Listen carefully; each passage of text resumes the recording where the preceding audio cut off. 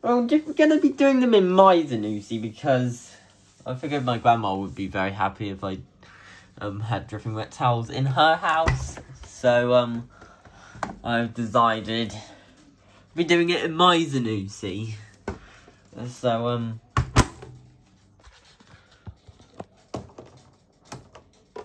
again, same as the Beko, and they're dripping wet. You can see the water in there. Right, let's go.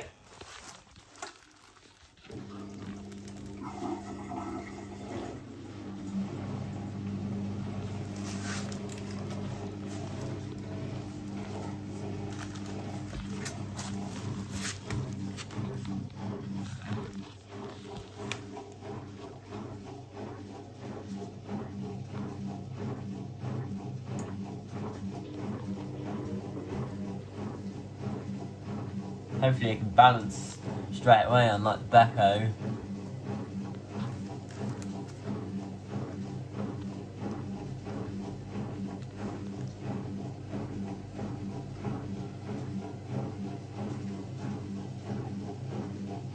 Beko didn't balance immediately.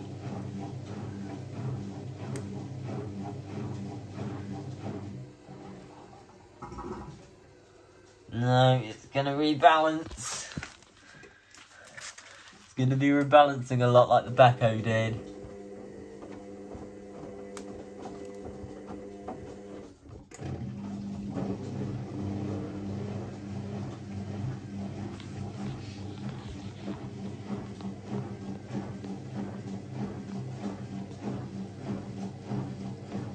You see these weird black spots all over the towel in there? That's all the water driplets on the actual glass. Not letting water light through them, so you see these black spots all over the towels.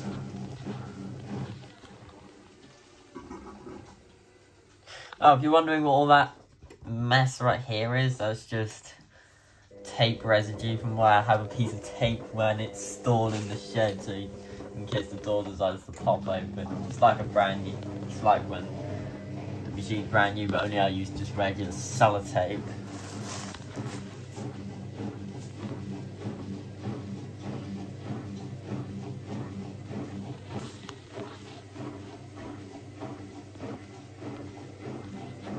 I think it might spin now.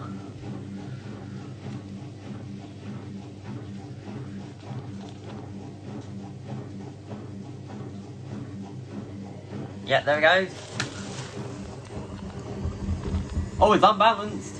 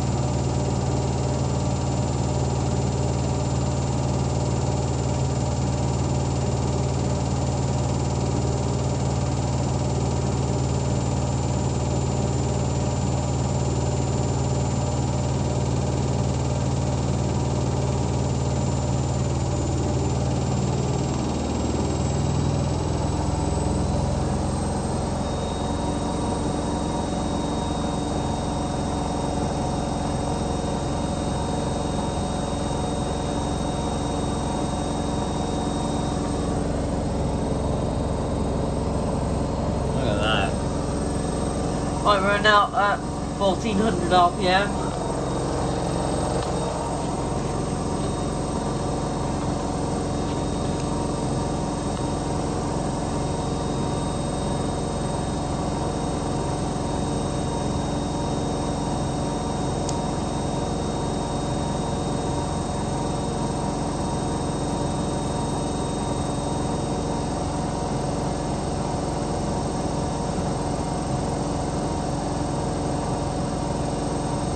Interestingly, the back, the, the back of the drum was covered up by the same towel this as what happened in the Beko.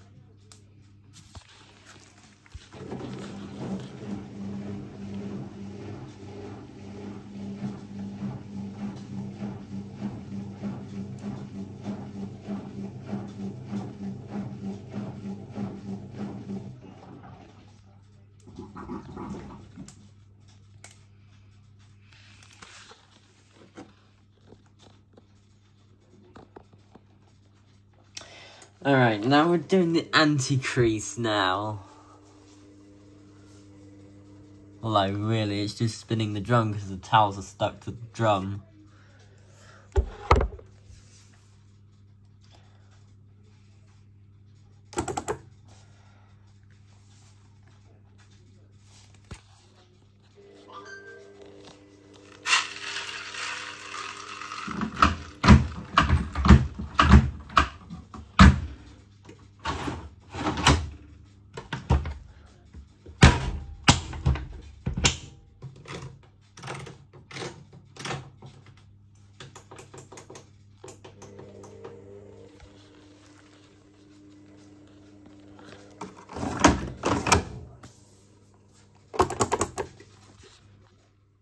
Alright, I was unlocked.